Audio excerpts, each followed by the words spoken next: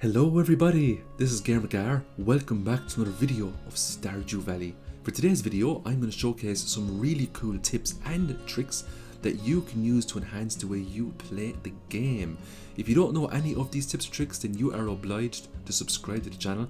So hit that subscribe button and the notification bell so when future videos are released, because they are released quite regularly, you'll be notified. And I just want to say thanks a million for your support so far.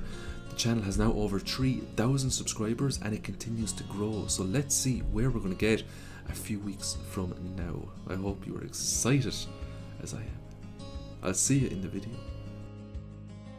The first tip we're going to talk about is how you can absolutely abuse artifact troves in this game. As we all know, we can purchase artifact troves from the Desert Trader for 5 Omni Geodes apiece. But I'm going to show you a method that will allow you to farm hundreds and thousands of Omni Geodes very effectively so Clint can break open hundreds and thousands of artifact troves. Why do you want Clint to break open artifact troves? Here's why. You can get pirates treasures out of artifact troves and they're very common. You can also get golden pumpkins and you can even get pearls. Golden pumpkins and pearls are universal loved gifts they can also sell for lots of money. So I sold all of those artifacts. Let's see how much they're worth. The treasure chest, 5000 gold. The golden pumpkin, 2500 gold. And the pearl, 2500 gold. That's a lot of money. And you can very easily get those from getting to break open tons of artifact troves. So here is a nice little setup guide for you when it comes to getting lots of loot. Combine the luck ring with the burglar ring. Do this twice, so you have double the luck, double the item collection. Equip those two rings to your character straight away. Once this is done, you want to head off into the mines and just take a nice monster musk. This will greatly increase the odds of monsters appearing. Go down into the skull cavern and just start farming carbon ghosts. With the burglar rings equipped, these ghosts will drop tons of Omni Geodes. Super quick tip, if you use your hoe on the crystallariums, you will get back the original gem that you put inside the crystallarium. So always do this before you put a new gem in there so you're not wasting gems. Next up, let's talk about Wild Bait. When you get 4 hearts with Linus, you'll unlock a nice event with him where he will teach you the recipe Wild Bait. There's two reasons why you want to get your hands on Wild Bait as quickly as possible. The first is that it has a chance to pull up two of any fish in the game while you're fishing. Wild bait will also give you a 25% fish bite rate, which is absolutely huge, so it works much better than regular bait when it comes to fish nibbling on your rod, so you can pull them in. To make the wild bait, all you need is fibre, bug meat and slime, and all of these resources are very very easily farmed inside the mines, into starter levels. All those ingredients are all over the place, huge abundance. Look how fast it took for that fish to bite compared to regular bait. It was very fast. And today isn't even a super luck day. So we just pulled up two fishes here and we got double chubs, which is really good for us because chubs are really good for energy. They're not so good for health, but are really good for energy. This is why wild bait can be so overpowered, because you can put up two of any fish, which means you could put up legendary fish. Speaking of legendary fish, there's a quest here in Qi's secret walnut room called Extended Family. And this quest allows you to recatch the legendary fish all over again. Now, they're not the original legendary fish, but their difficulties and the money they sell for is the same. As long as the quest is active, you can catch as many legendary fish as you wish. I just caught a ton of legend fish today. A gold star legend 2 fish goes for 11,250 gold. Now, you could catch other legendary fish such as the angler, but the reason why you want to try to catch the legend 2 is because it goes for a lot more money. You can make huge profits using wild bait and tackling that quest over and over again. Next up, let's talk about the slime hutch. Once you get Robin to build a slime hutch on your farm, you will unlock a new resource you can get from slimes called the slime egg. And slime eggs can sell for quite a lot of money. But what you might not know is that you can actually go ahead and demolish this building and still get slime eggs. The slime hutch takes up quite a lot of space in your farm, so if you don't want it there, you can just very easy, go to Robin, get her to demolish the building, and you can still farm slimes for slime eggs to make huge money if you ever decide to go to Skull Cavern or the mines. So let's go to the mines right now. Let's fight some slimes to see do they still drop slime eggs after the building has been demolished, and they do. I just got a green slime egg right there from a slime in the mines no problem at all. So if you have a slime hutch on your farm and you don't want it, just get rid of it. You won't lose the perk for gathering slime from slimes. The next tip I want to show with everyone today is the importance of upgrading a watering can, but more importantly, when to upgrade a watering can. It's very good practice to check the weather forecast every single day. If the forecast tells you the next day is going to be a rainy day, then that is the best opportunity for you to upgrade your watering can.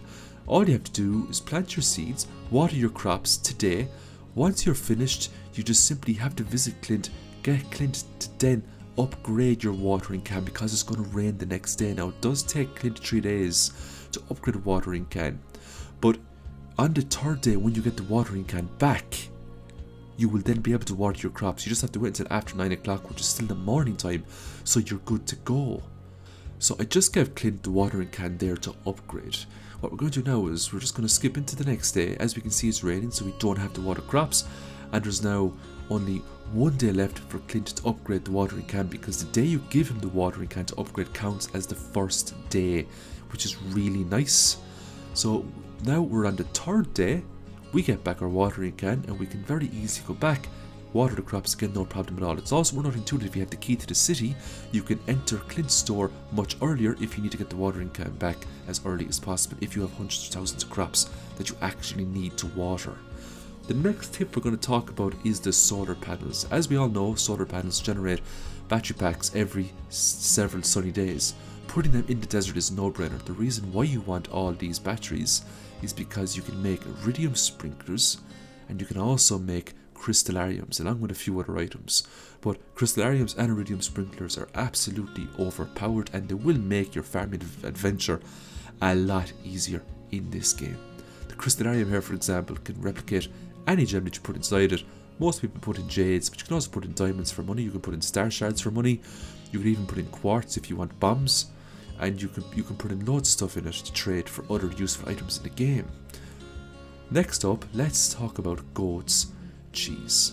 So I have an autographer here, it's filled up with large goat's milk. All this large goat's milk is going to turn into Gold Star Goat's cheese.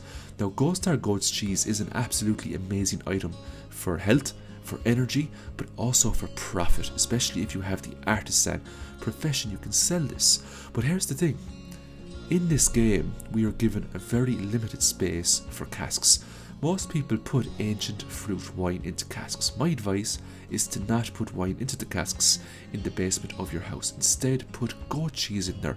It's a much faster method to make loads of money in this game. And if you don't want to make tons of money using goat's cheese, you can always just use it to heal yourself if you're going to the Skull Cavern, or if you're even going to the hardened version of the mines. It only takes 7 days for these casks to convert a gold star goat's cheese into an iridium star goat's cheese. And the difference between a gold star and iridium star goat's cheese is staggering. Not only will give you a lot more health and energy but it will also sell for a lot more gold. So if you have a limited amount of space in your farm if you just have a few casks process the animal products instead of processing the wine because the wines take far too long to make profit from. Fair enough, you can make huge profits from Iridium Star aged Starfruit wine, but you'll make money much faster from Iridium Star goat's cheese. The next tip I have for you today is how to increase your farming proficiency through the use of a bone mill. Now, a bone mill can be gotten through the fragments of the past special orders quest and this is given to you by Gunther, where he wants you to collect some bone fragments for himself. Best way by far to get bone fragments in this game is to equip your burglar rings, take a monster musk, unlock the hardened version of the mines, go down here to the, to the 70s floors and just start farming the skeletons and they will drop tons of bone fragments for you. The reason why you want tons of bone fragments is to put them into the bone mills to get back lots and lots of farming goodies. Bone mills can give you absolutely amazing items and if you come down here with a, a weapon, any weapon that has the Crusader enchant, you will do additional damage to these skeletons, killing them very very quickly. As we can see, it only takes a few swings from this weapon to take those skeletons out. If we put bone shards into the bone mills right now, we're going to get back some amazing items and these items include tree fertilizer, which is absolutely amazing for making tree farms, deluxe speed grow, quality fertilizer.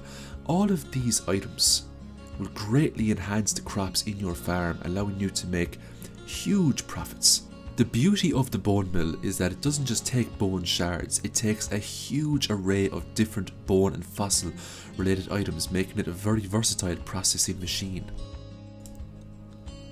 So I'm going to leave the video there, I hope you enjoyed it. As per usual, I will upload the next Stardew Valley video in the next few days. Also stay tuned for the special 3k subscriber Stardew Valley videos. They will be 100 day videos and they are currently in progress. I should have them made in the next few weeks and I will give you plenty of notice before they are released to build up the hype around them. So I hope to see you in the next video and I hope you have a great week. Bye for now.